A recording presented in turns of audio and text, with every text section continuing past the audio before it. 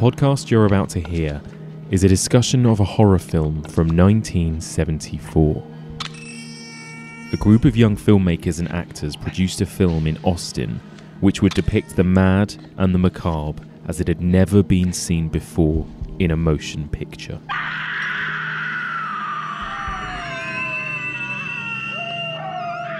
For director Tobe Hooper, a low budget film shot in sweltering Texas heat under nightmarish working conditions would go on to become a life and career changing experience. The events of that summer shoot would change the face of horror and lead to one of the most bizarre films in the annals of American cinema history the Texas Chain Saw Massacre.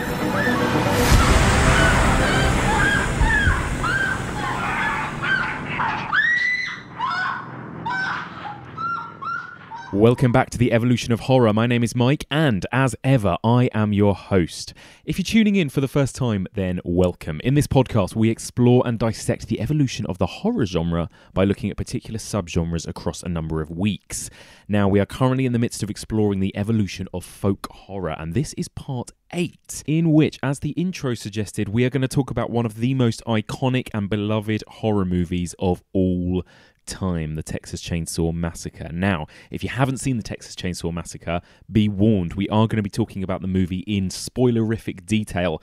And please, if you haven't seen the movie, give yourself a treat. Go away and watch it. I mean, it's only the greatest horror movie of all time, you know, nothing major. Um, so, before we get started and I introduce my guest, here are a few contact details. You can email us. The email address is evolutionofhorror at gmail.com, or you can find us on Twitter at evolutionpod, or on Facebook. That's facebook.com slash evolution of horror.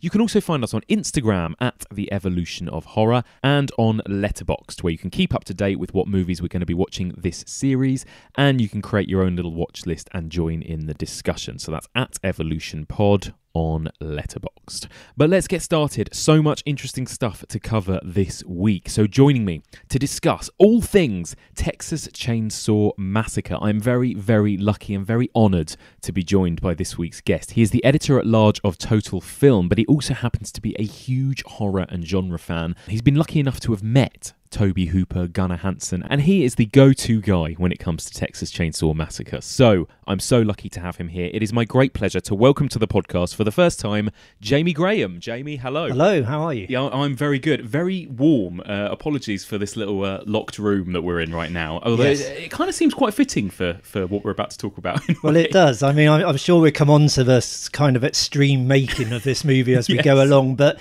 it's very intense experience. Uh, it was very hot, and that kind of can be seen in the film, the discomfort. So Oh we're, we're kind of living it here now in this cupboard. So I, I feel at home. That's what I was going for. It's probably outside right now, like the hottest day of the year Yeah. or something similar, isn't it? And uh, we're in a little room with no no windows, so just to give you a nice visual there. Um, so first of all, just tell me a bit about yourself, uh, just for people who don't know who you are. Tell me sort of what you do. Well, I'm editor at large of Total Film magazine. Wonderful. I'm a freelance film journalist, write for various titles. Um, basically, been doing it about 20 years. Amazing. Um, love of my life, passion of my life is movies. Like most kids, I was into films, really enjoyed them. Got absolutely obsessive about them as a teenager. Started buying loads of VHSs. Back in the days, they were just starting to come out, and um, you know, it was something like thirty-five quid to buy a new film in those days. A lot of money, like in the mid. You know, late eighties. Uh, went to university with boxes of video cassettes, like new films, which other people didn't had have at that time, such as my obsession. And it kind of went from there. And I did an English degree, but I knew I wanted to be a film journalist at that point, and um, just kind of spent all my hours watching movies when I wasn't down the pub anyway, and Love it. just had a great time. And then uh, luckily fell on my feet, kind of finished a journalism course after uni and got into film journalism straight away. I was very lucky. Worked for a Love film it. magazine called Flicks, which you may remember used to be free in uh, cinemas, and went from there. So all That's amazing. all good. I loved. Uh, I grew up. it's- Total Film was like my Bible growing up, and I, I remember actually keeping. You know, I had a sort of ongoing, sort of growing pile Yep. of issues. One of my favourite ones that I used to read uh, a lot was. I don't know if you remember. There was an issue.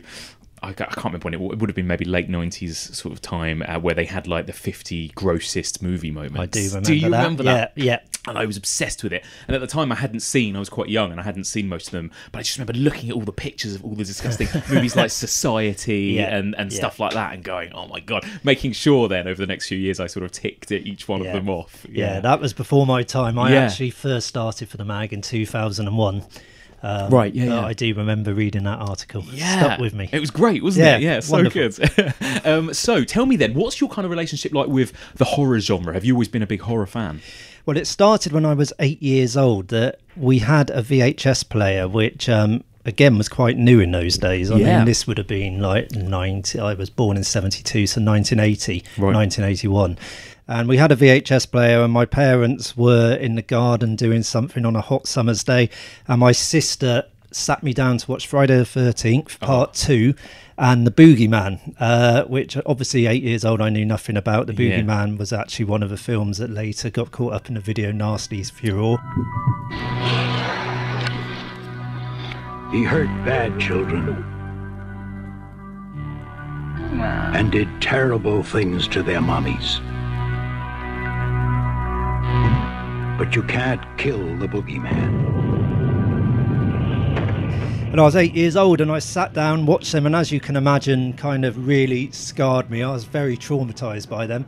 Uh, had to sleep in my parents' bedroom for the next six months. Actually, God. absolutely refused to go to my own room and uh, swore I would never watch another horror movie again. And then when I was about 13, 14, all my friends were getting into horror movies, as you Yeah. do as a teenager, and I was having none of it. I just wouldn't go near it. And then one day, a friend of mine insisted I watch Nightmare on Elm Street. He'd watched it a couple of times. He said, You have to watch this movie. So I watched it, and it absolutely terrified me. But at the same time, it just bit me with a bug. And I don't know if it's some deep psychological thing about confronting your fears, or this stuff I had in me from watching those movies when I was eight, kind of confronting it or what. But ever since that day, that's it. Been obsessed. I mean, I mean, I love all movies, all genres, all countries, everything. But horror movies have always been my particular favourite. Love it, love it. Um, so tell me, we've we've been kind of the way this podcast works. We kind of have, have been exploring sort of different subgenres. We did a whole series on slashers. But we didn't include the Texas Chainsaw Massacre, funnily enough. And then we did a, a whole series on ghost movies and that kind of thing. And right now, again, we'll get into how well Texas Chainsaw links to this. But right now, we've we've been talking recently about folk horror. Right. Um, what do you think of when you think of folk horror? When I think of folk horror, I think of movies that are very much kind of the power of a landscape, kind of ley lines, Yeah. and kind of old, oldie worldy kind of English countryside. Yeah. Um, I think of stuff like they probably are the most famous folk horror movies, like Blood on Satan's Claw, course, Witchfinder General, um, The Wicker Man, kind of movies like that, and then right up to stuff like Kill List by Ben Wheatley. But yeah, I just think of those movies where they're normally remote, rural, away from uh, away from cities and sort of modern technology, and it's almost like going back in time and like primeval. It is, isn't it? yeah, so- kind of it's kind of fear of the old or something, Yes, isn't it? Yeah. Yes, exactly. It's interesting because it feels like, and again, you know, who knows whether I, I suppose it's always been there, really, but it feels like it had quite a moment in the seventies, and Yeah. and it does feel like you know people are talking quite a lot about it again at the moment, almost like there's this, this kind of folk horror revival going on, movies like The Witch, and again Ben Wheatley's movies, that kind of thing. Do you think there's any kind of reason for that? Any, you know, or is it just the kind of cyclical cyclical nature of these kind of things? I think it's probably just the cyclical, I can't say it either, nature of these kind of things. That I think horror movies in general obviously go in cycles, and Yeah. you could say like in the 70s, you know, as we're talking about with Texas Chainsaw, there was so much going on in the world, you know, so hmm. much like disruption. Yeah. with Vietnam War, Watergate crisis, you know, scandal, all, all of these things, so many things.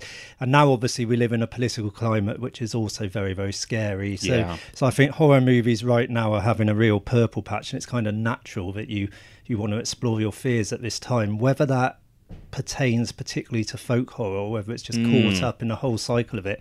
I don't know, but I would say maybe it's a case of directors grew up with the famous ones we've just been talking about, like Yes. Wicker Man, and kind of were influenced by it and want to make their own. And also maybe it's a case of we're just so bogged down with technology now. You know, we're all constantly in our phones and iPads, etc., etc.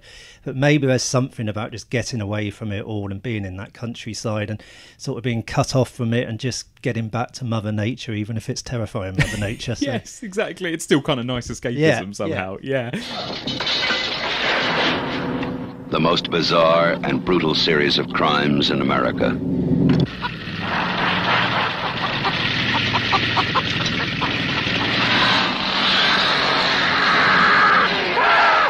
This is the movie that is just as real, just as close. Crazy! You gotta! Just as terrifying as being there. Even if one of them survives, what will be left? The Texas Chainsaw Massacre. After you stop screaming, you'll start talking about it. But a plot you can kind of fit on a postage stamp. Yes. It's basically five teenagers, late teens, who are in a Scooby Doo bus and they're traveling through Texas and they're going to visit a graveyard because there's been rumors of desecrations of graves. And one of the characters, well, two of the characters, because they're brother and sister, their granddad is buried in the graveyard. So they're going to sort of check out the grave, make sure, you know, hasn't come to any uh, nasty business. And then they get there and. Uh, they're sort of going around and they get low on gas, so they go to a gas station. The gas station is out of out of fuel because this is during the oil embargo. Um, so they decide to stick around for a bit until more fuel arrives at the gas station, and they go wandering. They wander around, happen upon this big old dark house, this big rural farmhouse, and inside it lives Leatherface and a family of uh, cannibals, and they basically get it one by one in very nasty ways. Yeah, perfect. That's pretty much it. yeah, that's pretty much sums it up. Yeah, lovely. So, first of all, simple question: Are you a fan of this movie? What do you think of this movie? I think it's the greatest horror movie ever made. I'm just going to go straight in and say that. Yes. Um, it gets under my skin like no other horror movie. The, the strange thing is, there's many horror films out there, especially the movies I loved as a teenager, Mm-hmm. that I watched again and again and again, you know, 30, 40 times. Texas Chainsaw Massacre is a film I've only seen four or five times. I watched Mm-hmm. it last night, ready to talk to you today, and that was the fourth or fifth time I've ever seen it. And yet, I can remember pretty much every frame of it. I watched it; Yes. it was like I'd watched it, you know, the day before. It, it kind of burns into your mind's eye as something insane and nasty and gleefully sadistic about it, and it just gets to you and it stains you and it stays with you, and you want to scrub yourself afterwards. and it's just, you know, if horror movies are about disturbing you, unnerving you, all of those things, no other film does it as well. It's it's just It's incredible, wonderful. isn't it? I couldn't agree with more with everything you just said. I think it's the greatest horror movie of Wonderful. all time, and it is it is strange. It is I've exactly the same as you. I've probably watched it four or five times max, and and yet those images, every element of it stays with Yeah. me. Every and it feels like there's something in it. It's almost like there's something in the celluloid. Every Yeah. frame of it feels like it is designed to, in some way, make you feel uncomfortable, on Yeah. edge, a bit sick, a bit dirty. You know, it's yeah. wonderful. I, I'm sure we'll go on to it later, but I think a lot of it is uh, just the conditions of the making of it. But it's almost pure chance that, Mm-hmm. Not to take anything away from Tobe Hooper, I, I'm actually a fan of quite a few of his films and think, you know, it wasn't a case of this was his only good film, but it is by far his best film. Yes. And I think a lot of it is the fact it was made in 32 days, you know, seven day weeks, 16 to 20, well, 12 to 16 hours a day. I think they were shooting in intense heat in Yeah. the middle of summer, Texas heat. 1973. Yeah. In Texas, you know, they only had one costume, like Leatherface, Gunnar Hansen playing Leatherface. He had one costume, so it stank of BO. It's kind of stood up to meet him in the morning. He put on his fleshy mask. It just absolutely stank. There's animal bones, real bones, carcasses, teeth, hair all around them. There's all these things, and it, it's almost like you said, uh, it kind of seeps into the celluloid. It, it, kind of stains it. And when you watch the film, it has this terrible kind of buzzing insanity to it. It does. That you come out, it's only 80 minutes long, and you come out the other way, and it's like you spent 80 minutes in an abattoir. It's just, That's exactly it's just it. horrendous. Yeah, in the best possible way. Yeah, that is exactly it. I have never profited, never profited from public service. I've earned every cent. And in all of my years of public life, I have never obstructed justice. And I think, too, that I can say that in my years of public life, that I welcome this kind of examination because people have got to know whether or not their president is a crook. Well, I'm not a crook. First of all, just as a bit of background, though, you mentioned this Mm. briefly already. What's the kind of backdrop to this movie? What was going on in America at this point? You know, you know, in the real world. But basically, it was shot in the summer of 1973. So at the late 60s, you obviously had the civil rights riots, you had the rise of feminism. Um, early 70s, you had the Watergate scandal, you had the Vietnam War beaming into people's living rooms with all these horrific images. Um, there, there was all of this stuff going on, um, and kind of there's a wave of American horror movies of this time, kind of in the early mid seventies, which feeds on this. They're about the disillusionment and dysfunction of America, um, and you know, Texas Chainsaw Massacre. I'm not sure if it could have been made before it was made or after it was made. Really, it's such a film of its time, and if you want to understand the 19 early 1970s, you can almost come down from a spaceship and get get a print of this film and watch it, and you'll kind of get a vibe of what's going on in the world at that moment. Yeah, it's uh, it's bleak, isn't it? And again, you know, you, different people have different. Um, you know, I think everyone's mentioned sort of different projects or real life events even that have come before it, and what Yeah. what inspired it the most. You know, people talk about Psycho. Yeah. You know, the real life story of Ed Gein, and uh, even movies like Last House on the Left, Yeah. Night of the Living Dead. I mean, Yeah. what do you think if you were to link sort of one main inspiration from from any of those? Well, I think you can't really choose one. I think it's all of those that you've just said. I think Yeah. Psycho kind of brought horror home away from Transylvanian castles to kind of, you know, modern day America. Uh, you had films like Targets by Peter Bogdanovich that did the same. Uh, Night of the Living Dead, very kind of graphic and, you know, no tidy resolution, so Yeah. impactful and It's got that dirtiness it, re- it really it? has. It Yeah. really has. People gnawing on bones and the way it finishes on such a downbeat moment and Yeah. all of that. And then Last House on the Left, a year before by Wes Craven. Again, I mean, it, it's just violence like you'd never seen on screen before. It's got that same sort of grainy, horrible, almost docu realism quality to Yes. it. Um, it's kind of it's actually got a chainsaw in it at the end. The It father has. revs up a chainsaw to get his revenge on the on the hoodlums who have kind of uh, raped and killed his daughter, and all of these things I think kind of feed into the Texas Chainsaw Massacre. Mm-hmm. We were we were at a time when drive-in theaters were doing very well in Amer- in America. You had all these films, be it Messiah of Evil or I Drink Your Blood or Children Shouldn't Play with Dead Things, but there was all these films going into drive-in theaters. And Tobe Hooper, he was only 30 years old at the time, and he said, "Right, I'm going to make a horror movie. I'm going to make a horror movie like no one's ever seen before." And he kind of took all of those influences plus what's going on in the world and kind of poured it into one film and took it further than it had ever been. The film which you are about to see is an account of the tragedy which befell a group of five youths. In particular, Sally Hardesty and her invalid brother Franklin. I mean, to start, I, I want to start at the beginning of the film actually and talk about those kind of opening few shots because I think it's such a powerful opening as well. That kind of opening scroll that we get. Yeah. Uh, puts me on edge from the get go from that. And there's something about it that makes you feel like you're watching a real thing. Like you're Yeah. watching news footage or you're watching something based on a true story. Yeah. And it's not, is it? I mean, obviously, loosely there's the Ed Gein connection, but I. I've heard and I've read and I've seen Gunnar Hansen talk about how people really thought that Yeah. this was real, and Yeah. people came up to him and said, "I, I had an uncle or uh, you know a friend who went to who shared a jail cell with you know whoever Leatherface Yeah, or whatever." yeah, and yeah. you know, it's so funny, isn't it? Again, do you think that's what is that what Tobe Hooper was going for? Is he going for that kind of docudrama feel? Or I think he is. I think he's deliberately playing on the truth element. You know that Hmm. opening scroll. I don't think it actually comes out and says it's a true story, but it does. It does kind of say that you know the fate befell these teenagers. Blah blah blah, and it's Yeah. worded in such a way you think it's a true story. And then the images were all they shot in 16 millimeter and blew it up to 35 millimeter for release, so it has that grainy quality to it. Mm-hmm. And they also shot on a very uh, slow film stock, so they needed loads and loads of light as well, which again added to the intensity because as well as the Texas sun, they were shooting with all these big lights, you know, 120 degree temperatures. A second body was found in a ditch near the perimeter of the cemetery.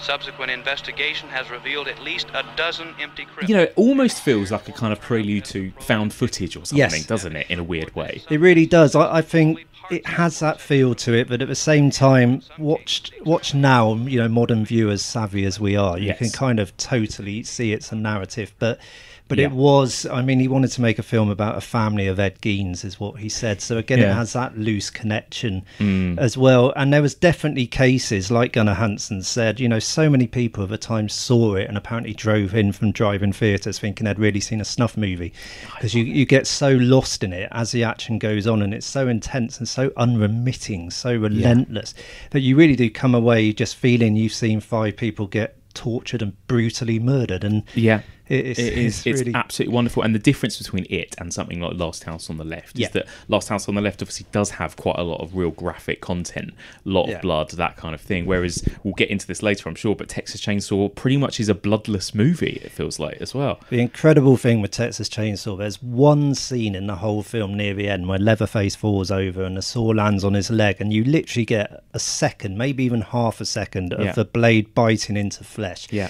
And apart from that, that is the only wound you see inflicted. There is no spraying blood, you know, No. sort of arteries opening, no Eli Roth type stuff. It is all shadow suggestion. It's almost like a Val Lewton movie from It like the 1940s.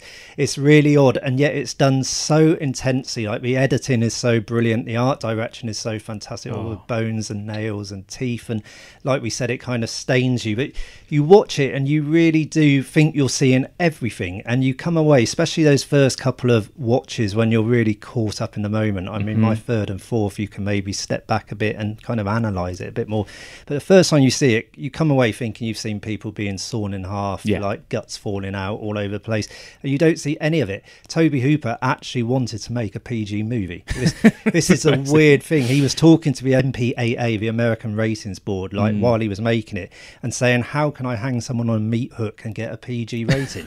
And they were saying, "Well, don't show any blood," and, and he didn't. And then, of No. course, when it came out, it didn't matter because it's like a stick of rock. It's just all pervasive violence from first frame to last. Yeah, and actually, funnily enough, I had someone from the BBFC on the podcast, and he was talking about the difficulty in, in Mm. rating a movie like Texas Chainsaw Massacre. that In that, obviously, we're getting a bit ahead of ourselves, but the way that it was basically it was banned, wasn't it? It Yeah. was pulled from, you know, it wasn't it wasn't out there um, originally, and because there was nothing they could cut really to make it acceptable. It was the whole overall tone. It was Yeah. the mood. Yeah. Basically, like they they made out it was. Almost just too scary. Yeah. That that was like what they how they described it, which is But, wonderful. Yeah, isn't it? James Ferman, who was obviously like chairman of the BBFC, then he described Yes. it as a pornography of terror, and that kind of sums it up. And you know, I don't agree with a lot of stuff that James Ferman said Mm. about this film and about a lot of horror movies in general and the way he treated them, but that statement does kind of sum it up. it kind of fits. Yeah. Um, so when when when the movie starts as well, so you've got that kind of that, that really iconic sound effect of the Yeah. camera, the kind of. Um, and I thought this would be a good chance to ask you about the sound design because I, it, the, as with all horror, I suppose, but sound design in this movie is so key, isn't Yeah, it? I mean, yeah. there's not really music. There's some kind of thumping, weird drone noise or something, weird, isn't yeah. there? I mean, what is that sound design? Do you think, and what does it add? But Tobe Hooper, when he finished shooting the movie, he actually went away for a year or almost a year to edit it. And he was mm. editing it in his living room and he was kind of overseeing the score in his bedroom. And basically, he used all, he was just into kind of experimental music. So he used toys, he used tambourines, he used all sorts of clanging, like dissonant noises, like rumbles. And he put together this kind of a, this hellish soundtrack, which is unlike anything you've heard before or since. And like you said, it's not really music; it's kind of clanging and it's like just rumbling.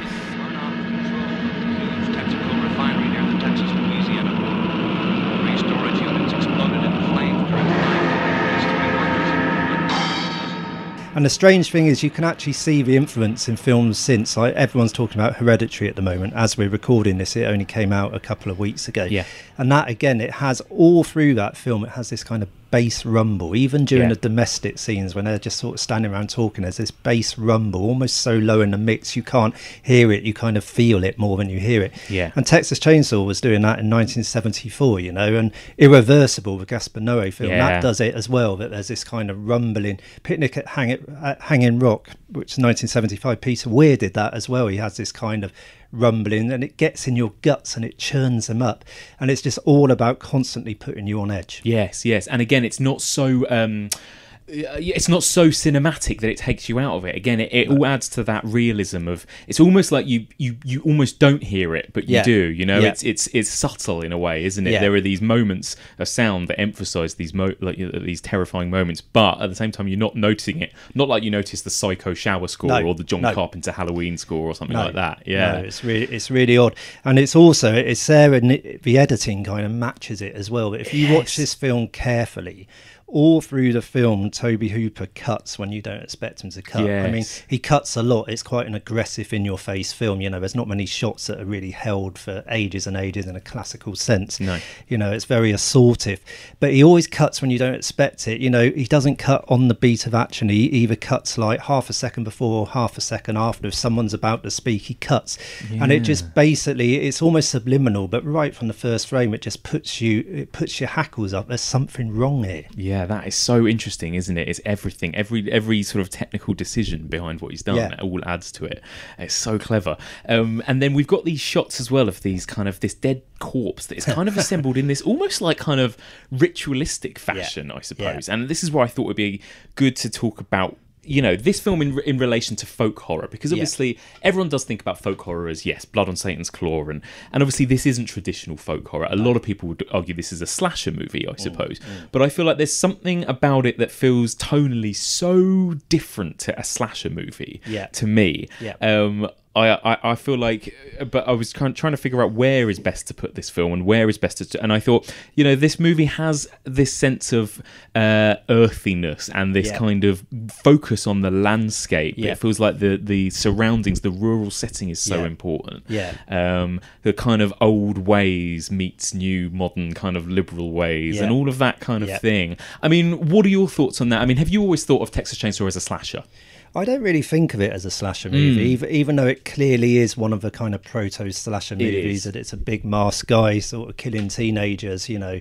And So you can definitely see why people class it as a slasher movie, but it feels almost like unto itself in a way. Yes, and what it's you're completely unique, isn't what it? Yeah. what you're saying about the folk horror element is definitely there in that it's set in Texas. It's these big barren kind of really sun bleached landscapes. Yeah.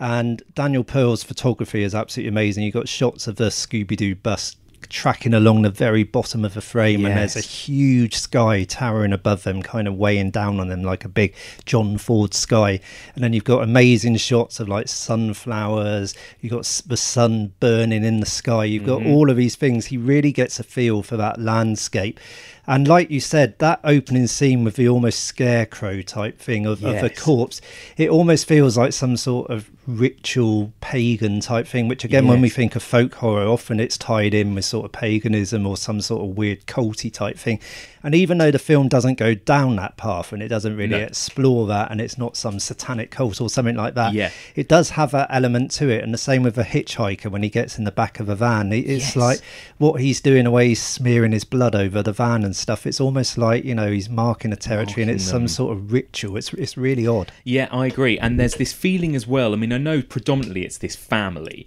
but there is also this feeling that it's this whole community Yeah. that they've stumbled into Yeah. that are all a bit off or a bit Yeah. odd. Uh. That moment when they go to visit the grave and there are those other characters that you see momentarily, that strange sort of old man who's sort of lying backwards On in the the, grass. Yeah, I mean, that is such a weird moment. And again, it's these little, these little uh, moments where you think, oh, it does, you know, in some ways have some links. I was reading a book by Adam Scovell who's written a lot about folk horror, and he he he basically was arguing for movies like Texas Chainsaw in that he kind of he came up with a list of kind of basic rules for folk horror, which is kind of rural setting, focus on the landscape, the uh, and then the sort of next step from that is kind of isolated communities with old, strange, different traditions, Yeah. which then leads to uh, either something supernatural or something dangerous happening Yeah. to these other Yeah. characters that find themselves within that world, Yeah. kind of thing. So in some ways, it kind of ticks those very, very basic boxes, which I find quite interesting. We kind of veered off from doing movies like Straw Dogs, then into things like Deliverance, and and Yeah, there it kind of feels naturally like you could go into those kind of exploitation type totally movies, I yeah. suppose. Those Yeah, kind of backwards type things Yeah. but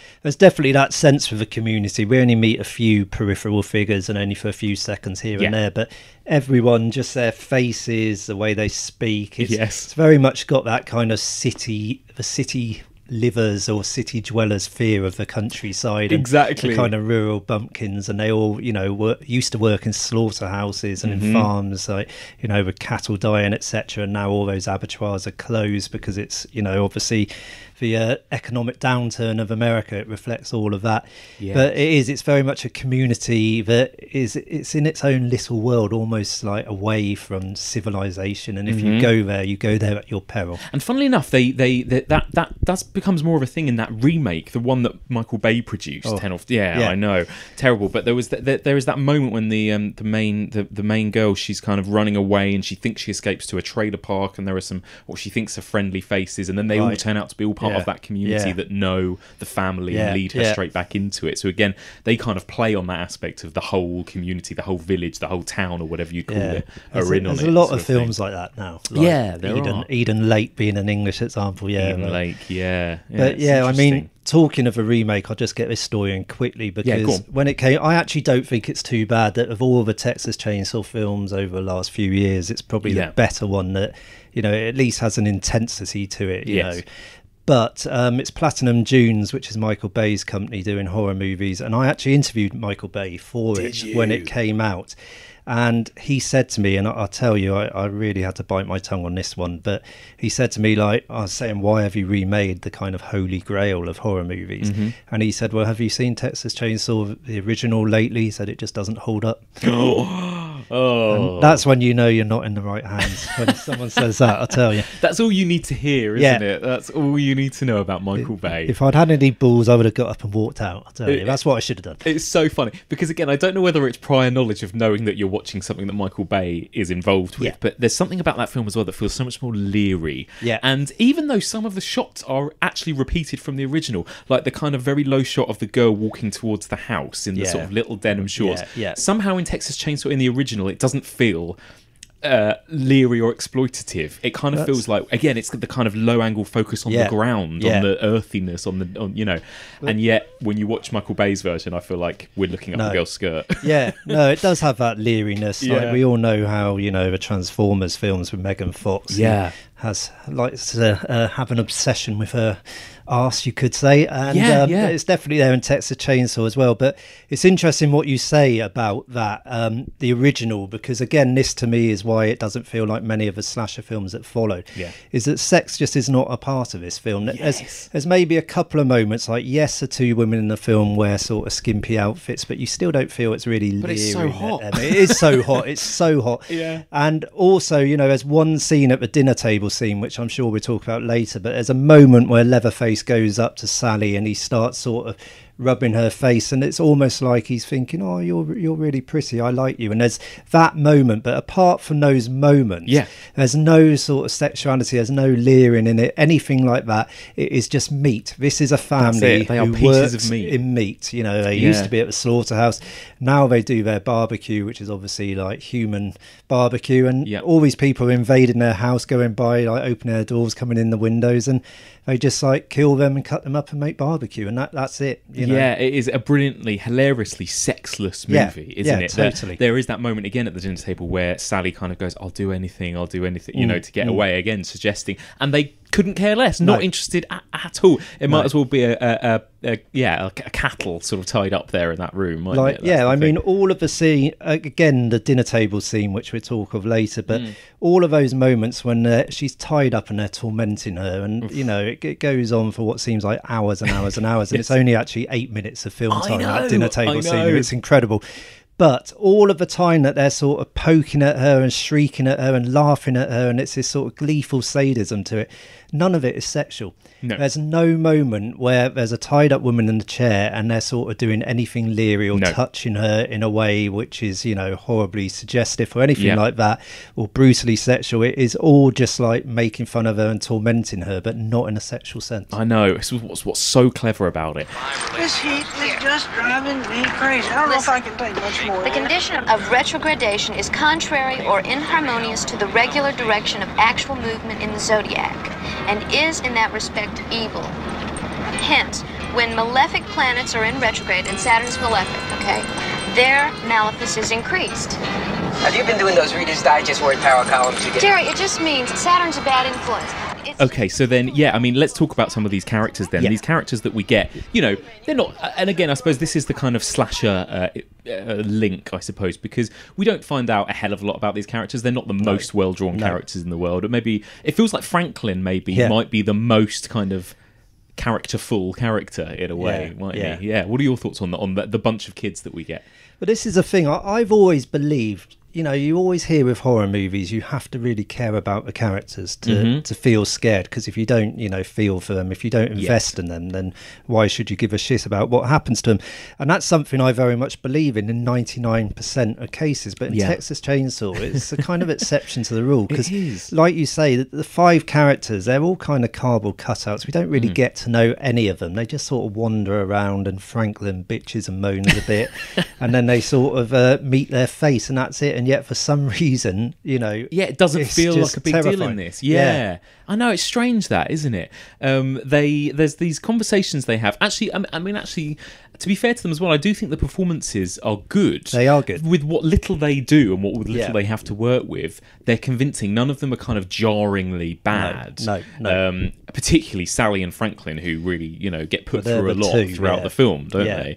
Um, but uh, yeah, again, you know, these moments of where they're in the van at the beginning and the other girl is kind of reading this kind of astrology stuff. What do you Mm. think the meaning was behind all of that? Is that just a kind of foreboding, you know, danger is coming for them? I, think? I think it is. I Yeah. think it's just all about, you know, just like we said, putting the hackles up. I think right from the first frame of this film, there's something off with it. Yeah. And nothing really happens for the first half hour. You know, they're just they're just in the bus. They pick up a hitchhiker who's a bit weird, and you know he does a few odd things like you know slices his hand with a knife and smears Mm. some blood, and you know all of that. And they kick him out, and they don't actually get to the farmhouse, and they don't start. The killings don't start till you know over half an hour in, and yet that first half hour of the film is really unnerving. It's unnerving. It is never boring as No, well. no. The film is never boring, and even moments like uh, which we'll get to, the sort of pacing of it is really brilliant because Yeah. there are moments in my head. I remember thinking when it got to the big chase scene in the dark, oh, this goes on forever Yeah. now, and I timed it, and it's like four, five It's minutes. incredible. Uh, yeah, it's amazing.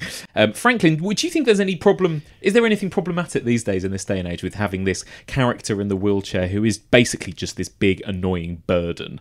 You know? Well, let's put it this way: I don't think they'd do it these days without a. Exactly, yeah. No, no one would ever go down that route where you've got five people. One of them is in a wheelchair, and he's just a whining git from start to finish. And it's quite interesting, actually. The the actor who played that role, like we said, none of them are real kind of proper actors. They're Mm. just starting out, or they're college students, etc. They're Yeah. non-professionals. So he felt he couldn't pr- play Fr- Franklin going in and out of a character. So Paul Partain, who is actually playing Franklin, he stayed in character for the whole 32 days they were shooting the film. So he stayed in the chair. He whined between takes. All the other actors didn't like him. Nobody liked him, and you know us as a viewer don't like him. That he just he's he does this horrible thing as well where he goes. "Wee, wee, wee, wee, wee, wee, wee." Come on, Franklin. It's gonna be a fun trip.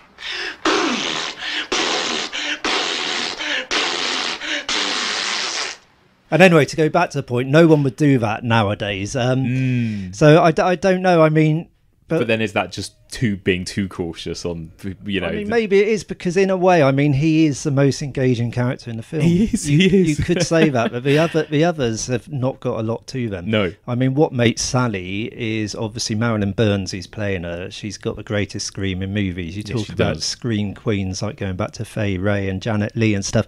No one screams like Marilyn Burns. For the last like twenty minutes of that film, it is constant. These serrated, high pitched screams, which just shatter your eardrum and go right down to your soul. And um, you know that's kind of what makes her. But the one, the character who's got the most dimensionality in a way is Franklin. Yeah, yeah, it's so funny, isn't it? It's really interesting. And of course, Leatherface and the family. I Oh, suppose brilliant. they're the real characters They in are. this, aren't they? They are. Uh, the Hitchhiker is a great character, actually, and actually, in some ways, I find him the most, in some ways, the most frightening as well. He seems yeah. the most sadistic. He I is the most sadistic, Yeah, isn't yeah. he? There's something about him that where he enjoys it Yeah. a lot more than the rest of them do. Yeah, because you, you've got the kind of uh, pop character who's, Yes. you, you know, a lot of people don't know watching the film is he meant to be the father to the Mm. other two, or, or is he the brother? He's actually meant to be the brother, but the guy Jim Siedow is playing Pop.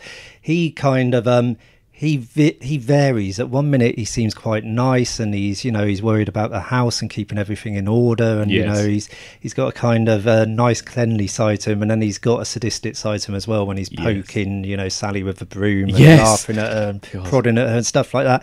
And then Leatherface is an incredible character. That, Incredible, yeah. he's like the mother of a family. He's the baby of a family. He's vulnerable. He's terrifying. Yeah. You know, this twenty-two stone madman. But there's so many different sides to his character. But like you said, the hitchhiker is the one who he's just an evil little git. Yes, he is. Yes, he really is. He's the one you would not want to be around. yeah, yeah. He, he seems completely unhinged. He's kind of, you know, that scene where they chuck him out the van and they Mm. drive off and he's kicking at the van and slashing at the van and he's just always has this goofy grin on his face and he, he he's the sort of guy who would cut you up and laugh while he's doing it. you know? Yes, exactly. And the whole sequence with him, the hitchhiker in the van, is so brilliantly weird and tense. And Yeah. what the hell, you know, and all of their faces say it all. Basically, It really you know, does, it's yeah. uh, so so brilliantly real. I was at the slaughterhouse. I got an uncle that works at the slaughterhouse. Hey, my, my brother worked there. My my grandfather too. my family's always been in me. And that you know these conversations that they have as well about again the slaughterhouse Mm. again this kind of build up of the, okay this family they don't like to do things the modern way. They don't like to use the gun. They like Yeah. to use the sledgehammer Yeah, yeah. Uh, gives them a better kill or whatever it is they say. They die better or something. It's, Yeah, uh, it's- it's uh, and there's a lot of kind of i suppose animal imagery in this Mm. as well it's something we talked about when we were talking about other um, movies like even night of the hunter and, and and a couple of british folk horrors as well a lot of a lot of animal Yeah. comparisons to Yeah. characters and in some ways all of these characters they're like lambs to the slaughter Yeah, they really are. um, leatherface makes kind of weird animalistic you think he might be a pig to begin Yeah, with or some yeah, sort of he does crazy pig squealing. yeah animal character Yeah, Gunnar Hansen actually went to pig farms and like listened to pigs and stuff to try and get that. absolutely horrendous But um, yeah, I mean, this may be taking it too far. This may be a film journalist sort of digging deep for subtext that isn't there. But I've always felt from day one there's a weird vegetarian subtext to this film that Mm. that basically you've got you've got the humans and you've got the animals, and the film makes no division between them. And Gunnar Hansen's actually said the moment in the whole film that he finds most disturbing is the close up of a cow's face where it's kind of just slobbering, you know, when the- Yes. the uh, bus is driving past and and all these guys they used to work at the slaughterhouse they used to kill animals for a living and you know no one blinked that's just accepted and now obviously they're just killing humans as if it's no different it's all just Yeah. meat and you know it's it's a weird one it's, It is, yeah, it is. It is. That's that is a weird. I noticed that. What felt like for the first time watching it this time round, that weird cutaway to the cow, uh, just kind of comes out of nowhere as well. that that yeah. shot. It's, it's very really odd. weird. And then there's obviously the dead armadillo at the start of the film and course, all of yes. this, which you know, there's a lot of animal imagery in it. And Robert Burns, the uh, art director, he actually sort of went around the local farms and found real sort of dead carcasses of animals. and I think he like he got a skeleton from India at one point because it was cheaper to do that than buy a God. plastic skeleton. And he, and he was going to the vets and all this and getting real like bones, animal bones and teeth, and decorating all the house with it. And it's and then there's that chicken in the canary the chicken, cage, yeah. which is terrifying in Horrible, its own right, just absolutely cooped up. Horrible. And like, yeah, it's just that constant animals and humans just Mm. put together. And like we said, you know, where is the division? Why is it okay to Yeah. kill all the animals and it's you know not okay to kill the humans? yeah From the family's viewpoint, from the cannibals, you know, these humans are on their land, they're sort of trespassing, and you know, why not kill them and have a nice bit of barbecue?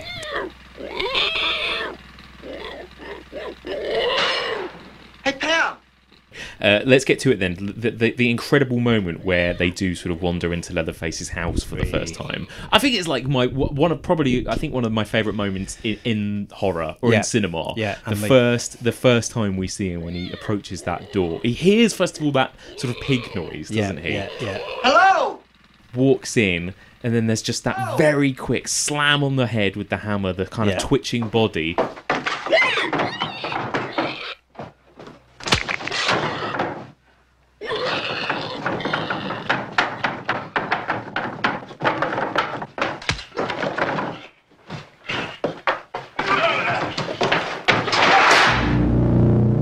dragging him behind the door, slamming it shut, Yeah. and then that drone noise. Yeah. I mean, Wow. wha- that is just one of the most powerful moments, isn't it? Well, again, it's because it's there's no warning to it. The Yeah. bizarre thing is, we've said the first half half hour of the film is unnerving, that you're kind of Mm. watching it and something clearly isn't right.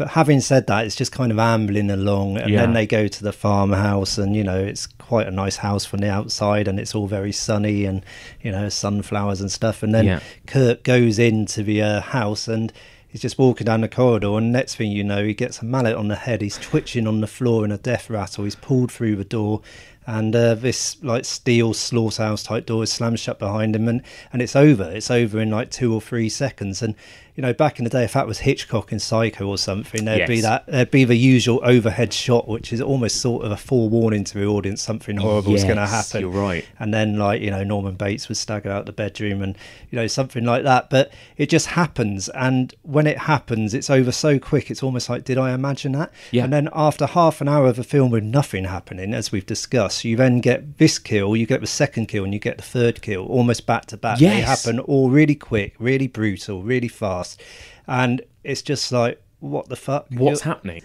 is talk about unnerving you and then uh, just brutalising you. You know, by that point, 40 minutes into the film, you're just like, I don't know if I can watch the next half. Yeah, it's so brilliant that, and I forgot again until rewatching it how quickly in succession those three Yeah. deaths are. How quickly Yeah. you go from five of them in the group to then there just being Franklin and Sally Yeah. left. Yeah, it's, it's insane. amazing. And yeah, the, the the the quick and there's something so.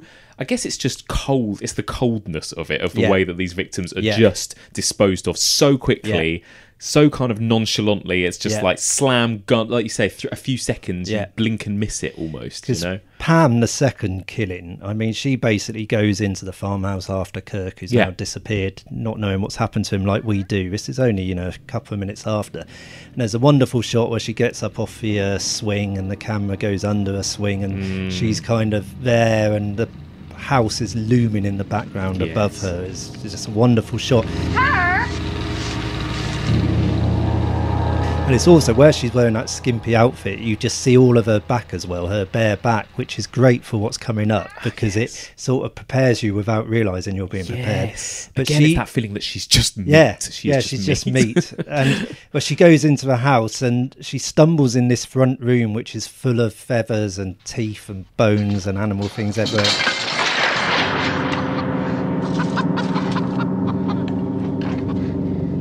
Like almost, you know, in her skimpy outfit on the floor, like just knee deep in all this horrible animal goo. And then she's running out the house, and Leatherface appears from nowhere. 22 stone, massive guy, Gunnar Hansen. He grabs her, picks her up like she's a feather, you know, takes her out in the back, hangs her on a meat hook, which is where seeing her bare back comes in because mm. it's just, you know, there's no harness there, there's nothing. He just goes plonk on the meat hook. Yeah. And then, like you said, the fact it's so cold because he then doesn't pay any attention to her. He just puts on a hook and then turns around, revs up his chainsaw, and starts cutting up Kirk. Yeah. In the foreground, it's like, well, she's there ready for later. Yeah. He just doesn't care about her. And again, it all happens in a few seconds. And again, it's all suggestion. The first time you watch that film, you swear blind you see that meat hook penetrate skin. Yes. You know, you've never seen anything like it. It's the most disgusting thing you've ever seen. You watch it again, you see absolutely nothing. and yet it still somehow is one of the most disgusting things you've Yeah. ever seen. It's Yeah. it's the way it's filmed. It's the way that it's lit. It's kind of like grime. It's sort of like di- sort of dimly, badly Yeah. lit that that shot this, as well. this isn't it? where it really feels like a snuff movie. it does. It, it's, does. It's like shot like if you or I just picked up a camera and went Yes. into some, you know, backyard into a shed and shot. It, you know, it, it's just, it really doesn't feel professionally done. It's just, they go in, they hang her on the meat hook as a terrible jerk as she Mm. sort of, you know, goes on that meat hook where it sort of catches in her spine or sinew or whatever. Yeah. And then the camera goes down, and you see this big tin bucket beneath her feet, and you don't see it, like loads of blood pouring into the bucket because it's a bloodless movie, but it's there ready to Yeah. sort of drain her. Like you know, Ed Gein, they found that woman in his shed, in his back shed, hanging upside down by her feet, and she'd been gutted like a deer. And Yeah. it's kind of that idea, and it's just horrific. And then he turns his attention to Kirk to cut him up with a chainsaw, and again you hear a chainsaw, you see a bit of smoke, and you know you you imagine you're seeing it biting into flesh, but you Yeah. don't see anything. It's all off camera. You do not see any blood spray and anything. No, it's craziness, isn't it? And it's it's even quite funny, really, that the film is called The Chainsaw Massacre. Yeah. Because really, you only actually is this right? I mean, you only really Franklin is the only character that is actually kind of properly Yeah. killed by the Yeah. chainsaw, Yeah. isn't he? Yeah, as well? he is. He's the only You see one killing. death by chainsaw. Yeah, Yeah. It's so funny. Yeah, it should be the Texas Chainsaw Skirmish. Or Yeah. something. that's what they should have called it's it. just so brilliant. But again, you the first time you watch that, you'll swear blind you did watch some sort of massacre. You Yeah. know, Yeah. it's wonderful. Um, Leatherface, then. I mean, the, you know, the way that Leatherface. Because I was thinking about it as well. You know, compared to slasher characters like Michael Myers or. Who kind of have. So, Michael Myers is a good example, really, because he has so much sort of grace and he always seems to be kind of omnipresent and he'll pop up at the place you don't expect him to or whatever. Whereas there's something c- completely ungraceful about Leatherface, and the way he pops up and appears kind of isn't like he kind of he comes from nowhere. He kind Yeah. of stumbles and runs around, and you hear him coming before you see him. Yeah. you know, there's nothing subtle about him, No. is there? He's a 22 stone man dressed in a apron, a mask made from like human skin that's stitched crudely together and whacked on his face with like hardly any peripheral vision. Yeah. You know, he's wielding a sledgehammer or a chainsaw or whatever. And like you said, he's completely graceless. He stumbles around. Um, when he's chasing Sally in the latter stages of the film, every time she turns a corner, like Leatherface skids almost like Keystone Cops, you know, because he can't do a turn so quick. Yeah. And um, and again, like someone like Jason Voorhees or Michael Myers or Freddy Krueger, there's something kind of supernatural or preternatural about them where where you almost feel they can't be killed and where do they come from Mm. and, and they'll, they'll walk, but they'll always catch yeah, up with yeah, you. always. Yeah. However fast you run, they're just plodding implacably along. Yeah. But Leatherface, he, he's a complete opposite of that. With the third person, when Jerry comes in and he kills Jerry, he hits him with a hammer. He's then like he has this wonderful moment where he's running around the house in a panic because he's like, where are these people coming from? And he's looking out a window and he's clutching the sides of his head and he's shaking his head and he's like licking his lips with his horrible, like, you know, baby teeth, his malformed teeth. There's a close up of the mask. And there's all this thing where you almost feel sorry for him. He, he's Mm. like, he, he doesn't know what's going on It's and he's just he- trying to defend his house. He's scared. It's brilliant. It's like he is in his own little home invasion movie, Yeah. and he doesn't know what the fuck is going No. on, does he? It's really mad. And the great thing about Gunnar Hansen in this is they wanted him to be as scary as possible to the people he was killing. So, Mhm. so none of the other actors in the film saw him in his gear, in his makeup, God. like with his mask and his apron and all of that, until the actual scenes when they're shooting the murders. And that particular murder, Jerry, the third one, Mm. is fantastic because Leatherface just sort of pounces out a door and hits him with a mallet, and Yeah. you know, and, and that's it, and it's over. But if you look at the face, the expression on Alan, Allen Danziger, the character, the uh, actor playing Jerry, if you look at his expression, it is pure, unadulterated terror. Yes. Because he's not seen him, he doesn't know what to expect, and suddenly Gunnar Hansen charges out, and it's just like with this mallet above his head, and he's terrified, and it is genuine. It's not acting. That one second of film, watch his face, he is terrified. And again, it just adds to that feeling like you're watching some sort of Yeah. snuff. That moment as well when he opens the sort of freezer chest and Yeah. uh, and she's inside Yeah, it is yeah. is horrible. That reminds me of something like maybe something out of something like Night of the Living Dead or something like that. It's got that kind of more of a kind of classic horror feel almost. Yeah. That shot, doesn't it? Like you're watching some sort of gothic horror or Yeah, it really is. It's like the vampire rising from the coffin kind of thing. He opens Yeah. opens the freezer. She's lying there. You think she's dead, and she suddenly opens her eyes and sort of sits up suddenly. And you know, it's that thing like sloth in Seven. You know, it's that classic thing of like when you think something's dead and it suddenly sits up. And it, it, yeah, it's one of the originals and one of the best. Exactly, because it is interesting. Because in a lot of ways, this movie doesn't have classic horror film tropes. If you take what was classic horror film up until that point, you know, dark gothic mansion, Yeah. shadowy corridors, even Psycho and Night of the Living Dead have a bit of that more Yeah. than this in a way. Yeah. it's you know, um, again going back to the sort of folk horror link. This feels like it's much more kind of natural, naturally lit. A lot Yeah. of the horror takes place during the day, at least in that first chunk of the movie. Yeah. and it doesn't have the kind of natural what you'd think of off the top of your head as horror conventions, does No, it? No, it doesn't. Really it doesn't. And again, you know, there's no super, supernatural element to it. Yeah. There's this whole discussion at the moment of what is horror. You know, a discussion that's gone Yeah. on for years and years and years, but it seems particularly prevalent at the moment. And you know, elevated horror and all of this Yes, nonsense. You know, but a really traditional way of looking at horror films and how they were regarded, you know, back in the early days were supernatural. You know, like obviously William Friedkin never felt The Exorcist was a horror movie because Mm. he felt that it's a kind of documented case and blah blah blah. You Mhm. know, and you could take that or not take it. I think he's talking nonsense Yes, personally. nonsense. But you know, with with Texas Chainsaw Massacre, it's not supernatural. It's just this group of guys who, you know, no no woman in the house. They, Mhm. you know, three generations of men or two generations, well, three generations because there's granddad, and they're living in the Mm. house, and they're just all as mad as hatters. It's extra- do you think as well Leatherface is kind of almost portrayed as kind of non-gender in Yeah. a weird way? There's something quite effeminate about him in, in some shots, isn't there as well? Well, during the course of the film, I think he wears three different masks. Yes. And the final mask at the dinner table scene is a woman's mask. that, Right. Uh, he's got almost like a sort of permed hairdo and he's Yes. got his lipstick on and all of this. And the reason is, and he's got his apron on, and the reason is, is because he's been preparing dinner. So presumably it's the people who were killed earlier in the movie, sort of Pam and Kirk, but Mm-hmm. there's these sausages on the table and chicken. and uh, he, he's been off preparing dinner. So he's now like doing his domestic He's chores. now the and, housewife, You know, a lot of people said that it's a satire of a nuclear family. Yes. Uh, Texas Chainsaw Massacre, and you know, and you've got the teenage son in the Hitchhiker. You've got you know Pop, sort of and you've got- patriarch, yeah, yeah. Pop, and then you've got Leatherface being mom at this particular point.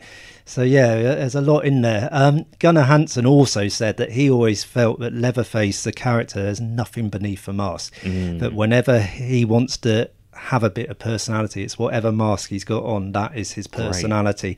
And there's that wonderful shot. There's one close up of his face in the mask where you can see his eyes and you can see his mouth as he licks his lips. Yes. and the eyes are just completely dead. Yes, there's Dead. nothing there. Yeah. it's, it's horrible. Uh, so then at that point onwards, that's when the film becomes what feels like to- then torture, basically all Yeah. the way through to the end, isn't Yeah. there? When it when nighttime hits, Franklin is killed, Yeah. and then that chase sequence begins. Sally, I hear something. Stop! Stop! which I swear. I, I swear to God, I thought it went on for about 20 minutes. And yeah, like I say, I kind of timed it this time Mm. around. It's about six minutes before she then gets to the, the gas station Yeah. and things calm down again for Yeah, a minute. for a bit. But the pacing of it is perfect, I think, Yeah. because I think it knows just how far to push you before it lets you take a breather and then put, plunks Yeah. you straight in it again. Yeah. And that's what, basically, for the rest of the film, that seems to be what happens to Sally, doesn't yeah, it? it? really does. And it's really bizarre because so many horror movies have done it since, where you have you Yeah. know the final girl running through the woods being pursued, and Yes. all the sort of jump cuts and tracking shots and all of this. And like you said, it, it seems like it's going on for ages. I also I watched the film last night and I thought that scene lasted about twenty minutes. Yeah. and, and it was over, you know, Yeah. pretty quick. And then the incredible thing is after this chase, which again. We haven't talked about the humour in this film yet. Yes, yes, there is a lot should. of there's a lot of humour in this film which you don't notice till about the third time you see it because you're too busy being terrified. But there's a lot of humour, you know, whether it's the pop character saying, "Oh, look what you did to my damn door," you know, when Leatherface has chainsawed it. It's like you've got no pride in your home. There's the poking Sally with the broom. There's a Keystone Cops bit of uh, Leatherface skidding round corners.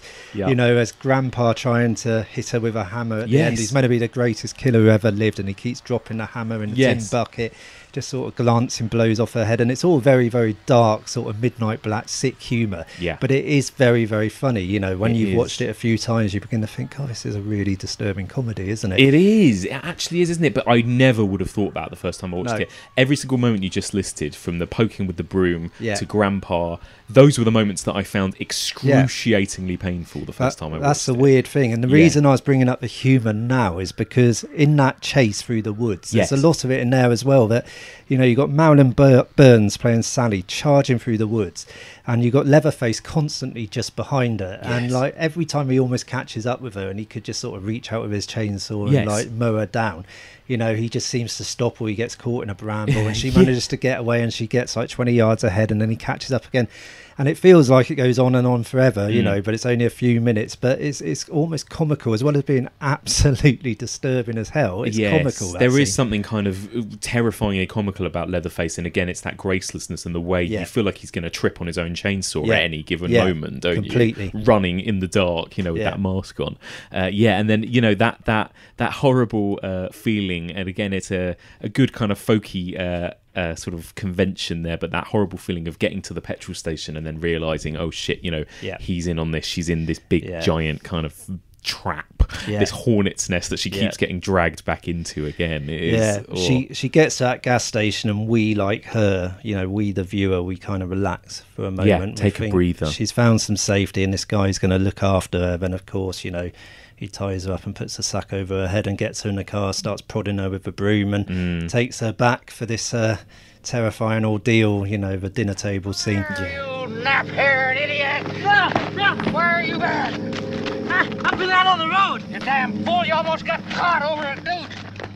That nightmarish. Uh, I, I really love that shot as well when they get to the house. The headlights are on, and again you Yeah. see the hitchhiker kind of Yeah. flailing around this silhouette, kind of. And again, there's something suddenly. Suddenly, it all becomes almost from what starts off filming feeling so gritty and real to almost kind of surreal and nightmarish, Yeah. isn't it? Towards the end, suddenly we're so far from being documentary footage Yeah. i- in a way. The way it goes on. It's really bizarre. But also, we talk about, we've mentioned earlier, we touched on why this movie gets under your skin so much and it feels Yeah. so real and the conditions of making it, you know, were so intense. Yes, yes. Uncomfortable and nasty, but you can kind of feel it in the cellu- celluloid. Yeah. But that scene in the gas station is another example of it that Marilyn Burns did, I think, about 17 takes of that where she charges through the door, she slips, she falls on her knees, and then she sort of gets up and Jim Siedow's character starts calming her down and stuff. And she did 17 takes of that. And when you see that scene, you know, her her knees are just bloodied, and that is mm. real blood. She did it again and again and again. Her knees were scabbed, cut up. There's various other things, you know, he stuffs a dirty old rag in her mouth in that Yeah. scene. And that, again, they suddenly decided, let's put a rag in her mouth. And they just found a rag that happened to be, you know, on the floor that was covered in God knows what. And they stuff that in a mouth. You'd never get this in a Hollywood production these Oh days. And then probably the most classic example of it is a scene at the dinner table scene where uh, Leatherface cuts her finger and Mhm. gives it to her granddad to suck on. Yes. And he actually, this is one of Gunnar Hansen's favourite stories, but he had a knife, a sort of blunt knife, and he had a bulb, a blood bulb in his hand, and he's meant to, like, you know, squeeze the bulb and a bit of blood comes out. And they filmed that dinner table scene for 27 hours straight. because they had to get it done and they filmed it for 27 hours. It was 120 degrees under the lights in that room. Um, they were all going absolutely mad almost in the moment, like, you know, Yeah. it was almost real. They just completely lost it. And he kept squeezing that bulb in his hand and the blood wasn't coming out. It wasn't working. And finally, without asking permission of anyone, he just took it upon himself, Gunnar Hansen, to take the tape off the edge of a knife and just really cut her finger. and he sliced her finger and she's screaming in real pain. That's real blood. And, you know, they, they really did put her through the wringer for this. It's unbelievable, isn't it? Yeah. There's a, there's a good sort of little pocket of movies, isn't there, at this time? The Exorcist is full of it as well. These kind of almost just equally as terrifying myths behind the scenes Yeah, of the yeah, movies. yeah. That are as scary as the films themselves, you know? You, you never know how much. That's the thing. I mean, how much is apocryphal? How much is built up over Yes, years? And yes. it's a damn good story. But you know, a lot of it feels very true. It's stuff that the filmmakers and Gunnar Hansen's kind of said over the years, many, many times. I, I had the good fortune of meeting Gunnar a couple, a couple of times over the years, and um, he actually told me one story I haven't read elsewhere, which is. Um, one of the chainsaw scenes where he's actually chasing them with a chainsaw in the house up the stairs. I think he's chasing Sally up the stairs. Um, he had some. Uh, he had like had made some brownies on set, and he said, "Oh, I'll have one of those." And he had a couple of brownies, and he didn't realise they were hash brownies, and no one had told him. And net, and he'd never done drugs in his life. And next thing he knew, he was like off his head on this hash brownie, and he had a chainsaw in his hand, and he was chasing Marilyn Burns up the stairs. Oh, my And God. like he was completely off his head. Which again, maybe it's just a great story, maybe it's apocryphal, you know, but but it certainly makes for Oh my good, God. good anecdote. It adds a whole other level of fear next time Yeah, you watch it. That's the thing, isn't it? It is, um, and I've heard, you know, they must have all hated Tobe Hooper during Yeah. the making of this, Yeah. mustn't they? He must Well, not have been a popular guy. Well, it's, it's one of those things that now it would never ever happen. You know, we're Mm. now in an age, and quite rightly so, where that that old idea of you know you can do anything for your art Yes. and like you know it's worth it because then it's immortalized. You know, we've kind of moved past that, and people now obviously you know you have to look after people on set. You have Yeah. to do the right things, and there's some things that are more important than making a film. But this was back in the day. This is a bunch of DIY filmmakers, you know, with a sixty thousand dollar budget. It ended up a bit more than that, but they're shooting thirty two days straight in Texas. They're trying to make their horror movie. They're doing whatever they need to do to make it, and it's all just chaos, really. Absolute chaos. I mean, Tobe Hooper is a strange one, isn't he? Because yeah, we, you know, we he is obviously he's one of the greats. He's always regarded as one of the greats in terms of horror. Like we said, nothing's really that he's done has matched up. And also, he's got quite a. He's it's a real mix, isn't it? When you look at things like Poltergeist, for example, you'd never know that was really. No. Or I wouldn't have guessed that that is directed by the same man. No. I mean, do you think that there is such a thing as a Tobe Hooper film? You know, like you'd know a John Carpenter film, Mm, maybe, or, mm, would you you would. know a Wes Craven film? I, I don't think there is like those No. guys. Not like you know you know Cronenberg, early Cronenberg, Exactly, yeah, Carpenter with a sort of classical style. He did sort of chop and change, but then you got movies. I think Eaten Alive is quite similar. Yes, like yes. Acker Death Trap. That's that's quite similar to Texas Chainsaw. You know, a guy, mad guy in a motel, like feeding his guests to an alligator. Yep. You know, and it, again, it has that sort of seedy quality. It- It's slightly Yeah. more garish and it's you know slightly more theatrical than Texas Chainsaw, but it it does have that sort of nasty quality where again it kind of gets under your skin. But then he made so many different movies, like Poltergeist. You know, was it Spielberg directed? Feels Was- like a Spielberg yeah, film, in many it? ways. Yeah. Was it Tobe Hooper? But then the Funhouse is a really bizarre one. Yes. because that, in a way, it's that sort of carnivalesque horror, and it's you know fun for all the family, and it's kind of you know it has that sort of fun, like watching something like Gremlins, that kind of horror Yeah. movie. Yeah. But in another way, it's really sick and twisted and nasty, and it's almost like he takes two completely different subgenres of horror and clashes them together. And I actually quite like the Funhouse, but. But yeah, and then he did like you know Life Force, Invaders from Mars, his sci-fi films. and, Yeah. you know he was kind of all over the shop. There's yeah, so many which is great. ones. You know, he's eclectic. I suppose that's the thing. It is. Uh, It's interesting though. I've heard you know other directors talk about him. I think it was John Landis on one of those documentaries saying. You know, when you first watch Texas Chainsaw Massacre, it's like you know when you watch a Hitchcock horror movie or something like Yeah. that, you know you're kind of in safe hands. Yeah. Where's something very unsafe No. uh, about being in Tobe Hooper's hands in that But film. that's that's what makes Texas Chainsaw Massacre. Yeah. You know, one of the many things. But Wes Craven famously said, and I'm sure probably someone else has said this on one of your uh, podcasts because it's a very f- famous quote. But he said, a director of a horror movie, you know, you have to watch a horror movie thinking you're in the hands of a madman. Yeah. You have to, you know, really not trust them. They could do anything. And Wes Craven certainly did that on Last House on the Left Yes, in 1972, and Tobe Hooper does it in Texas Chainsaw Massacre.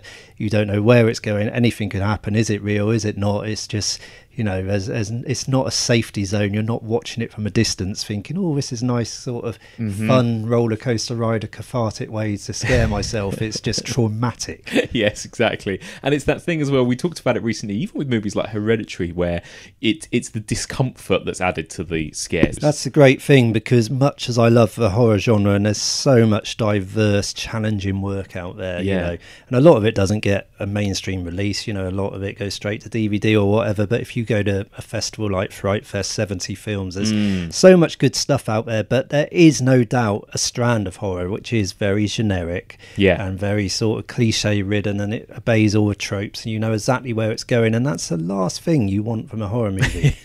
you know, how are you going to unnerve someone if you know every beat Yeah. along the journey? And when you get a film like Hereditary comes along and it sort of takes a sharp left turn here and there and sort Yeah. of pulls the rug out, then you're you're in a different re- yeah, realm altogether. It's the same thing with Kill List, isn't it? First Yeah. time I watched Kill Oh, List, and I was man. going, "What the hell is this I'm watching?" Yeah, you know? exactly. It takes Yeah. sort of two or three 90 degree turns. Yeah. Um, yeah. And, and, you know, what's also brilliant about this is that, yes, you know, we've touched, touched on this already, but compared to movies, of these other kind of exploitation Mm. movies of the 70s, this doesn't really have anything exploitational No, in it. no. And, you know, we might as well talk about that in talk, that sort of dinner table torture Yeah. scene. Again, we call it a torture scene. That's not really, tor- I mean, it's basically just shouting and laughing Yeah. and, and making noises for Yeah. sort of 10 minutes, isn't it? Yeah.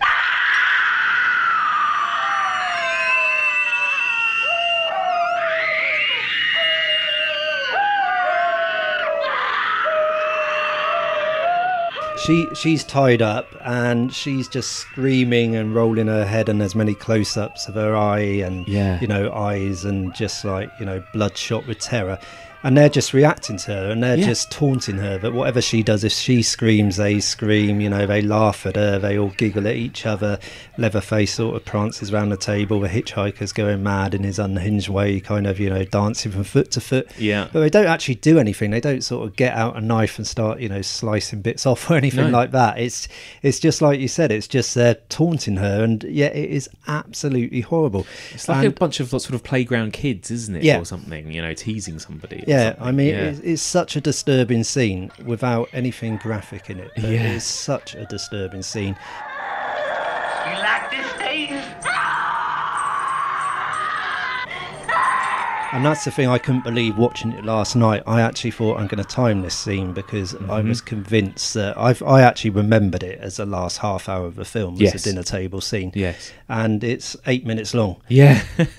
But- Again, the pacing is incredible. It is absolutely incredible because he knows just how long to make something so that yeah. it is arduous and Yeah, torturous, yeah. but never veering into boring. That's No, the thing, or no, tiresome. no. It's really, really clever. And those extreme close ups again of the eyeball oh, and that kind of thing. It's They just oh. they just get closer and closer. It's Yeah. like you get to her eyeball and you're almost like going into her eye. Yes. So it's just the white of her eye, and you can see every capillary, every sort of you know little, little trail of sort of bloodshot eye. It's just it's horrendous. Yeah, again, that must have been so awful for her to Yeah, have to yeah. for Marilyn I'm sure wasn't it was, and then that end, but that end moment, she bursts out of the window. It's something so amazingly cathartic at that moment when she Yeah. bursts out, and it's daytime again. Yeah, yeah. I was really confused by that. Why is it daytime? Yeah. Because it was dinner time, wasn't it? Yeah.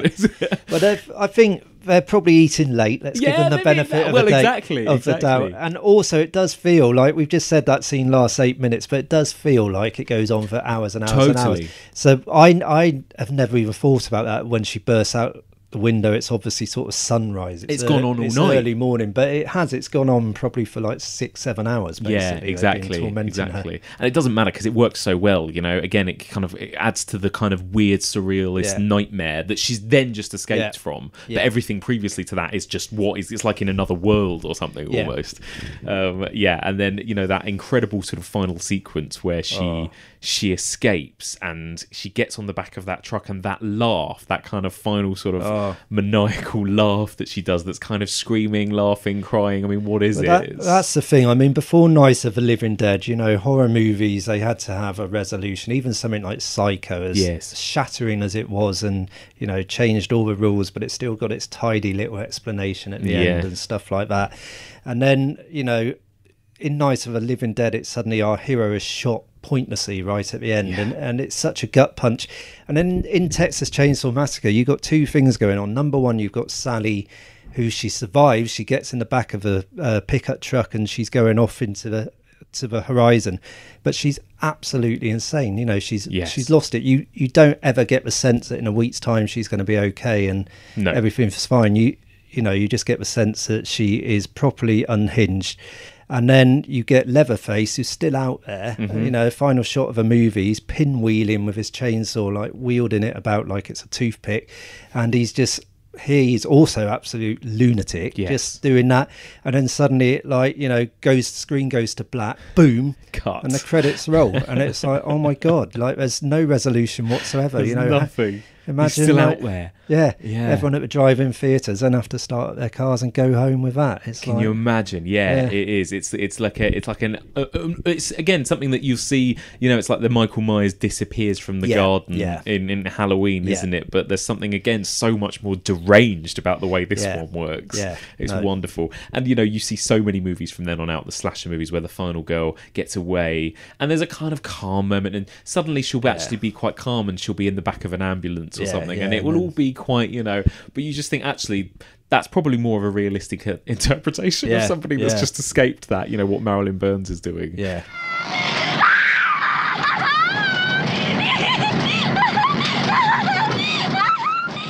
So, just briefly, I mean, when the film came out, what was the Mm. kind of general reaction to it? What did critics and audiences think of it? I think it got kind of mixed reviews. It, it was not a case of one of those films where everybody hated it and Yeah. slammed it, and then over the years, you know, people re-evaluated it. and It's now rated one of the great horror movies. I think there were people out there who really rated it. It played in the director's fortnight at Cannes Film Festival, Mm. um, which is a bit of an honour. I think Alexander Walker called it the most pure horror film ever made. You know, Yeah, it's pretty accurate. Yeah. stuff like that. Um, you know, obviously, some people, a lot of people, also hated it because it was so like you know shattering and nasty in a way and gleefully sadistic Yeah. is a term I keep using. So it upset a lot of people and they were unprepared for it. But it was a case of it kind of got mixed reviews, and then over the years, it's just gradually been hoisted up on this pedestal. That Mm. you know, Total Film a few years ago, probably about five, six, seven years ago, we did a poll of the greatest horror movie ever, like everyone has. Yeah. But I really tried to uh, do it wide reaching and you know horror experts so i was getting as many film critics who really know their horror movies to vote as possible and as many filmmakers and we had lots of famous people took part in it wes craven guillermo del toro Yeah. tobe hooper uh, lo- Joe Dante, loads and loads and loads of people. Most people, actually, I asked, took part in it, and we had like hundreds of people vote. And Texas Chainsaw Massacre came number one. There you go. You know, it just just picked The Exorcist. Yes, because it's, it's it's always one of those two, isn't it? Or Yeah, maybe The yeah, Shining as well. yeah, it's, that's it's, always it's up those there. th- those top three, isn't it? And, and there was what felt like quite a long time when The Exorcist did used to top Yeah, those did. sorts of lists, Before it? The Exorcist, it was Psycho. and Yeah, then, yeah, yeah, Then The yeah. Exorcist took over, and now it's like Texas Chainsaw or The Exorcist. Um, yeah, and I, I remember when I was a teenager, I used to buy Fear magazine. I don't know if you Yes, remember that. yes, yes, yes. was like a horror monthly, I believe it was. And they did they did a poll. So this would have been the sort of 1987, 1988 or something. And they did a poll of the greatest horror movies ever. And I remember Texas Chainsaw. I think it came joint number two with The Thing, John Carpenter's Yeah. The Thing, and I think Psycho was number one if I remember rightly. But back in those days, this was before you could see it. You know, this was banned by James Ferman in 1975, and it didn't come out till 1998. And being a big horror fan as a teenager, I tried to get my hands on all the banned films like Yeah. you do, and a lot of them I managed to get. You know, Clockwork Orange, a few others. I managed to watch on various dodgy cassettes. I could, Yes. I could, I could never ever get anywhere near Texas Chainsaw Massacre. And, No. and then when I read this in Fear magazine, it was like, oh my god! Not only is it, you know, with that title, the Texas Chainsaw Massacre, Mm. and the tagline, you know, who will survive and what would be left of them. Not only did I have to see it because of that, but it sounded so like fucked up basically Yes. but also it was so rated it's like all these horror experts are saying it's the second best horror movie ever made and i couldn't get my hands on it i actually didn't see it until i managed to get an american video cassette of it i had a Mm. sort of joint region video player and i was probably about 24 I reckon the first time I saw it. Yeah, yeah, yeah. Um, it would have been around about 1996. Yeah. And um, So only and- a couple of years before it, or yeah, three before, years it, came, out in 1998. Yeah. Yeah. so I, I got it and I watched it thinking, you know, it can't possibly live up. I've been trying to watch this film for like 12, 13, 14 years and everything I've read about it, it can't live up to it. And it did. It's so interesting, It isn't did. it? So yeah, so what exactly happened with uh, the way that the film was kind of banned then or pulled from release? So James Ferman, who was the head of the BBFC, he saw it in 1975 and felt that it was unreleasable. You know that it was just Mm. too much, the pornography of terror. And then he went through the film almost frame by frame to see what they could cut out in order to get it a release, and decided they couldn't cut it because it's that stick of rock thing. It's just all pervasive, horrible start to finish. There's no scene where it's like a big gout of blood or anything No. you know so there's nothing they can take out it's just the atmosphere of it um so he just decided it couldn't be released so it was banned so basically from 1975 in the uk to 1998 when james ferman retired it wasn't available. So Mm. it actually wasn't you know it got caught up. Its name is always mentioned with video nasties and the films that were prosecuted and stuff but it wasn't really a part of that because it had been banned since like 80 since 75 but um, where it gets ridiculous is James Ferman. He, he said the famous line, which always gets quoted, is he said, "Oh, it's fine a middle class intellectual watching this film at the NFT, but imagine the effect it would have on the average car worker in Birmingham."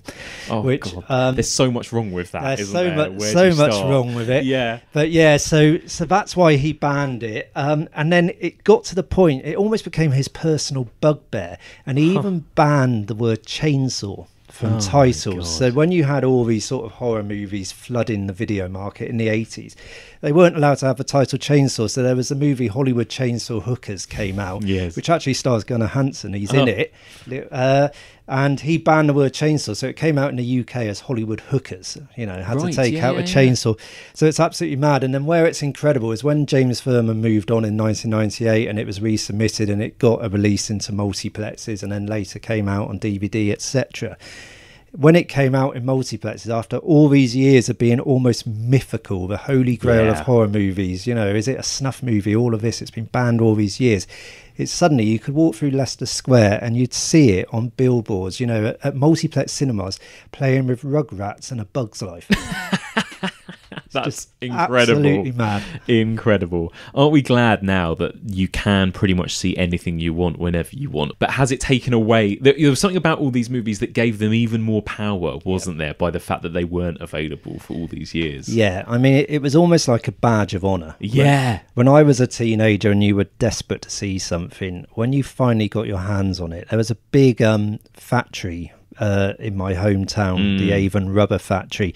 And all the guys who worked there, you know, they used to get hold of videos. God knows how they did it. So they were the dads of the kids I was at school with. And Yeah. every now and then a kid would come in at school and he'd suddenly say, I've got a Clockwork Orange. Or Yeah. I've got The Exorcist. And we used to all gather around the TV and watch it, you know, in a group.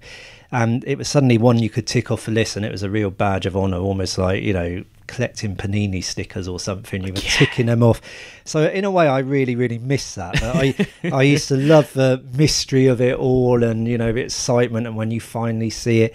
But having said that, you know, it was terrible at Yes. the same time that these films were being banned, obviously, Yes. needlessly in like 99.9% of Yeah. cases.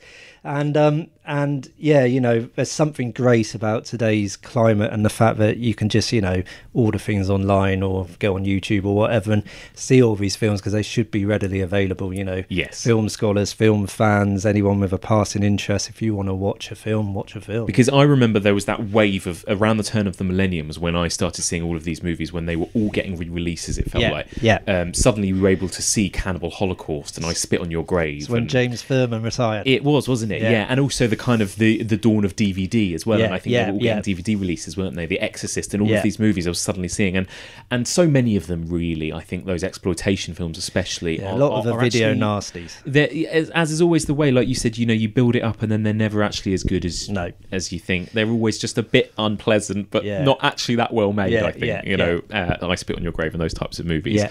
And again, Texas Chainsaw Massacre is just so entirely different to that. Yeah. But it it still has that notoriety. I know a lot of people who you know not hardcore genre fans, but they'll be like. Oh yeah, I like, I love Halloween. That's scary. I love this. Oh no, I'm never watching the Texas Chainsaw No. Massacre. I've heard that's too much. Yeah, You know, yeah. and it's so funny, and no one will be- believe you that when you say no, there's no blood in it, or there's you know, it's yeah, it's no, they don't. I mean, just the title itself is terrifying. It's the title, isn't it? Yeah. I, I think it's greatest title. We've just said it's the greatest horror movie. I think it's the greatest title as well. It's like chainsaw, what a word, massacre, what a word, and then Yeah. Texas makes it.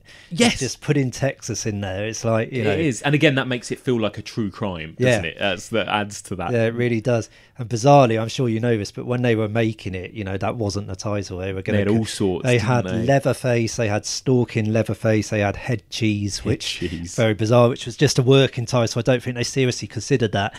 And the first time Gunnar Hansen knew it was called a Texas Chainsaw Massacre is when he sat down to watch it, like the cast and crew screening or whatever, when it was finished, and he was absolutely gutted because he, you know, while it was called Leatherface and Stalking Leatherface, you know, it's all about him, and suddenly it's like, oh, the Texas Chainsaw Massacre. What you know, this It's has knocked me off my pedestal. Yeah. That's brilliant. That's true though, and it's and, and, and a, in a weird way, it's not all about Leatherface. No, That's it's the thing. not. It's, It's- not. Yeah, It's about the family. And It's so much more. Watching it again, I mean, the family. Everyone concentrates on Leatherface, but you said earlier how much you like uh, the Hitchhiker. yeah. He terrifies I, I me. think Jim Siedow playing the sort of older brother as well is, is just Brilliant. a phenomenal performance. The Yeah. way his face changes, you know, it's just- Absolutely. And again, you know, putting Texas in the title as well, it's that sense of place. It's got It such a is. sense It of really place. is. The landscape, the smell, the atmosphere. and you just think of Texas as you know, again, this is a city dweller being afraid Absolutely. of rural backwards and that, but you do think of Texas as this kind of almost a country unto itself, where, Yes. where it's like who knows what goes on down there. Yes, exactly. Get all you got, huh? Don't you dare touch me! If you're gonna kill me, then do it! Matthew McConaughey of A Time to Kill. Renee Zellweger of Jerry Maguire. Are you having fun here? Texas Chainsaw Massacre.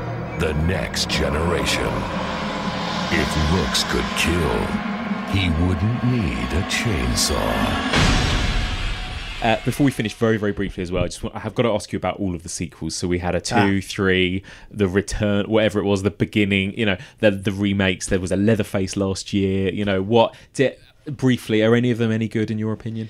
I think the first remake, the Marcus Nispel one in 2003, the Yeah. Platinum Dunes one, I think is decent. Yes, it's, I- it's competently made, yeah. isn't it? Yeah. it's a lot slicker than Mhm. the original. It has that kind of you know Michael Bay sheen to it. Yes. but it is nasty. It's intense. It's an experience, and I think as far as the horror remakes, we had all these remakes in the noughties. You Yeah, know, of all did. these classic horror movies from the seventies. You know, like John Carpenter films remade and all this. And I think it's one of the better ones. Yes. You know, it's a lot better than Friday the Thirteenth, Nightmare on Elm Street, Yes. The Fog. You know, all of these remakes. It's it's much better than them, but it's still not a patch on the original. Then I think when you start looking at the prequels and stuff, you know, uh, I, the beginning, I, I think they're absolute disasters. Terrible. And what what's interesting, it's that old thing of trying to reveal a character. You know, Leatherface, Yeah. like we said earlier, there's there's nothing to him. He's kind of blank beneath the mask. And the moment you start to try and explain him and sort of say, oh, you know, he's got bad skin or whatever, Mm. and he was bullied at school, it, it takes away the myth. Yeah. And it's very interesting, actually, that um, in the original Texas Chainsaw Massacre, apparently Tobe Hooper did play with the idea. I think they even shot it one scene where he removes his mask, Mhm. Leatherface removes his mask, and you kind of see the person beneath, and then they very wisely discarded it. Yeah, good. Yeah, yeah, yeah. It's so fun, isn't it? There was that whole wave of wanting to over-explain these Yeah. types of things. You had They Rob Zombie's start- Halloween, even. Yeah, you know, Michael, yeah. Uh, It's been, and, and and now it's gone back the other way again. Yeah, it's like. Halloween is now he's the shape again in this next one, isn't he? And that kind of thing. And then obviously that's all the sort of modern ones we're just discussing there. But if you go back, there's also the sequels. You know, Yes. the original sequels. Tobe Hooper made Texas Chainsaw Massacre two. very weird that film. It's It so is weird. tonally different, isn't it? It- It's a film I've grown to quite like over the years. Uh-huh. Originally, the first time I saw it, I hated it Yes. because it is so different to the first, and it almost felt to be like you know, like pissing on the original. It, di- it does. It feels Do like it's what I taking mean? the It's- piss out yeah, of the original. It's yeah. like the original, like we've said, is completely sexless, and the Mm. second one, you know, has sex in it. He's kind of Mm. wielding his huge phallic chainsaw, you know, between women's legs and stuff Yes. like that. And the comedy is far higher in the mix, you know, and Much. all of this, and it, it just felt disastrous to me but the more I've watched it over the years I've gone back to it a few times and actually there's quite a lot I admire about that now it's Okay. still still not a patch but but I do as, as a weird sort of satirical film I quite enjoy it the third and fourth ones I think are pretty bad I mean they obviously went through the wringer with production problems like the fourth one I think was you know taken out of the director's hands and Mm. hacked to bits and he's complained you know that it feels completely incompetent the version Yeah. they put out I think it had a lot of problems with censorship they had to cut out all the sort of gory bits and then it didn't really make sense without them and all of this and of course it stars Matthew McConaughey and Renee Zellweger So weird. which is really weird um but yeah but I think they're pretty bad. I've got to admit, I've only watched the third and the fourth ones once each. Yeah, me too. know, me too. I back- barely remember anything about them. To back honest. sort of late 90s, I think. And I don't think I'll ever go back to them because I just remember them being disastrous. Yeah, I think you know we've talked a lot about um,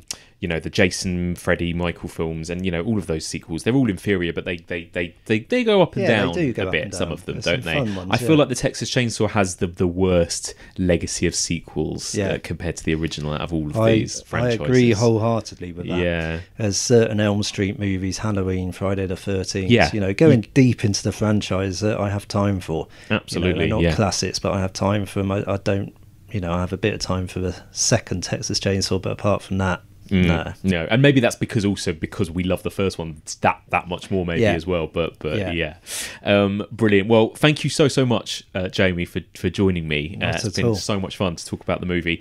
Um, just, I was going to ask you. I mean, you've uh, usually I ask everyone what your favorite horror movie is. You've already told me. Obviously, it's Texas Chainsaw Yeah. Massacre. But another question: What's your scariest ever horror movie? Unless that's the same answer again, or do you have a kind of scariest horror movie experience? Well, it is the same answer again. Mhm. In that, you know, Texas Chainsaw Massacre is the one that I can't shake. Yes. Like we've mentioned a few times, I've only seen it four or five times, but I, I seriously have a repetitive dream. I probably have it once every month or every two months about the Texas Chainsaw and have since I watched it, like in 1996, where I dream I'm on the farm, I'm being chased by Leatherface with his saw. Uh, it usually ends. It's one of those weird dreams where it's always the same, you know, exact same beats. And I run up the stairs and I get cornered, and he approaches me with a chainsaw, and I always wake up at that moment. Apart from one time I didn't wake up and he actually started hacking my limbs off Oh in the dream, God. and I died in the dream, which apparently you're not meant to do. But if you die in a dream, you die in real life. Yes, yes. Someone told me, obviously, that's what's supposed to nonsense. happen. Yeah, yeah. I was lying there dead at his feet in the dream, which is odd. But the point being that it really has soaked into me, and I, I find it very, very scary, and it, it sort of lived with me. But in terms of other scary movies, I mean, over the years, you, kind of I've seen so many horror movies, you almost become like immune to it. Yeah, it's In- a bit numb to it. in- Yeah. in, a way. Um, but having said that, you know, the odd one still gets under my skin. The first time I saw Paranormal Activity, the first Paranormal Activity, Yeah. that really got to me. I was really distressed watching that. like, Yeah. curled up in a fetal ball.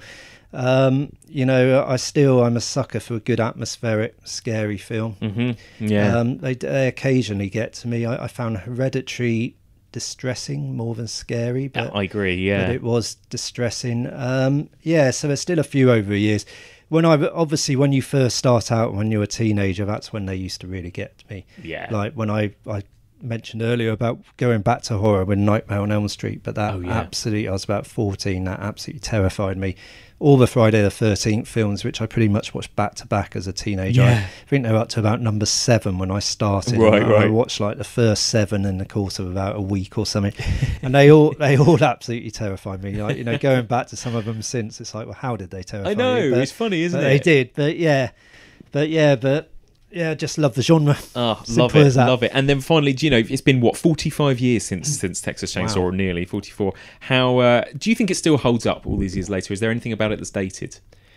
I think it does hold up because it was made so kind of artfully artless. Is how I'd put it. That is a great way to put it. So yeah. because of that, I think it totally lives up because it hasn't dated in terms of its style. But almost, you know, when it came out, it almost felt like a DIY sort of home movie, snuff movie. And because of that, it sort of still feels like that. It still feels like someone grabbed a camera in the early 70s and filmed these like true life events. Yes. Um, edited it brilliantly. Um, Yeah. Yeah. So I don't think it's aged for that. I'm just trying to think maybe, maybe Grandad's makeup. Yes, You know, that's true. a- we didn't talk about Grandad's, Yeah. but yeah, that's an interesting. He's uh, like- uh, the, the most com- comedic Yeah. element of the film, isn't yeah, it? Yeah, he's meant to be something like 108 years old, and he's played by an 18 year old, and it's one of those cases where they put him in makeup for about 10 hours or something. Yeah. And there's a couple of shots in the movie where he looks absolutely fine and it looks really authentic, and then there's a couple of other shots, obviously watching it now with advances and also watching it in HD now. Mhm. There's a couple of shots in the film where it just looks like a terrible latex mask, you Yes, know, yes, yes. which kind of snaps you out of it. So maybe that's where it has an age, but I think you know 95% of it has aged terrifically. Yeah, and again, it's that lack of, in a weird way, the lack of blood, the lack of practical Yeah. effects has also aged it better, hasn't it? Yeah, That's completely. Yeah. completely. Stuff like that doesn't age. I mean, it's like if you're watching CGI, what's great CGI, you know, one decade, the next decade Yeah. really looks ropey. If you're watching prosthetic or practical effects or a lot of hosing blood, again, Mm. it can be fantastic at the time, and then you know it can maybe look a bit hokey as you go on and things improve. But with Texas Chainsaw Massacre, because it goes back to the old sort of traditions of horror, that it's like suggestion. Yes. You know, it's all in the mind's eye. Um, it can't age for that. Love it. Um, Jamie, thank you so much for joining me. Um, if people you. want to find you, sort of uh, social media, that kind of thing, find what you've written, that sort of thing, where's best to look? Well, basically, you can just uh, you can Google me. Obviously, um, I write quite a bit for Sunday Times Culture, Total Film. Obviously, editor at large. Um, you can go online. There's a lot of my pieces on um, Games Radar reviews. Uh, they basically um, house all of Total Film's online content. Um, on Twitter, Jamie underscore Graham nine. Um, always tweeting away. So yeah, uh, by more, if anyone's got any questions, any more questions about the film, we've obviously discussed a lot today, but there's probably a lot we haven't touched on. Oh, go on there's so much forever, more. I know, there's so ever much more. and ever. But yeah, by by all means, by all means, drop me a line. I'm more than happy to engage in conversation. Love it. Thank you so, so much. And that's it for this week. Well, thank you so, so much for listening, and a big thank you to my brilliant guest, Jamie Graham. Such a pleasure to finally get him on the podcast, and for this week especially, what a treat. So, what do you think of this week's show? What do you think of the Texas Chainsaw Massacre? Do you agree with me and Jamie that it is the greatest horror movie of all time? Or is it overrated? Let me know your thoughts. The email address is evolutionofhorror at gmail.com, or you can find us on Twitter at evolutionpod or on Facebook. That's facebook.com slash evolutionofhorror. There is also a discussion group, the Evolution of Horror discussion group. That's where you can discuss this week's movie and the podcast and any other horror related topics with fellow listeners. That's the Evolution of Horror discussion group, and that can be found on Facebook. So, where do we go now in our journey through the evolution of folk horror? Well, this week and last week, you know, Straw Dogs, Deliverance, Texas Chainsaw, we've been moving into this kind of subgenre of a subgenre, I suppose. We're really kind of going down a rabbit hole here, uh, but um, a kind of arm of folk horror that we've mentioned already. It's known as Hicksploitation. Uh, and there are a lot of interesting titles and a lot of interesting movies to cover within the umbrella of Hicksploitation. A few too many to cover, in fact. So, what do I do when I've got lots and lots of movie titles that all need covering in one week? I bring in the brilliant Brad Hanson. So, next week, I'm going to be joined by Brad, and we are going to be talking very broadly about all things Hicksploitation. This is going to be a spoiler free discussion, and as ever with Brad's episodes, we are just going to be going through a list. He's compiled a list of his 10 Hicksploitation recommendations. We're going to be covering everything from 70s movies like The Hills Have Eyes, all the way through to 21st century movies such as Eden Lake or Tucker and Dale versus Evil. Loads of incredible stuff to cover, and you don't have to watch anything in advance. Have a listen, bring your notepad, jot down a few titles that we recommend. So join us next week for all of this and more on the evolution of horror.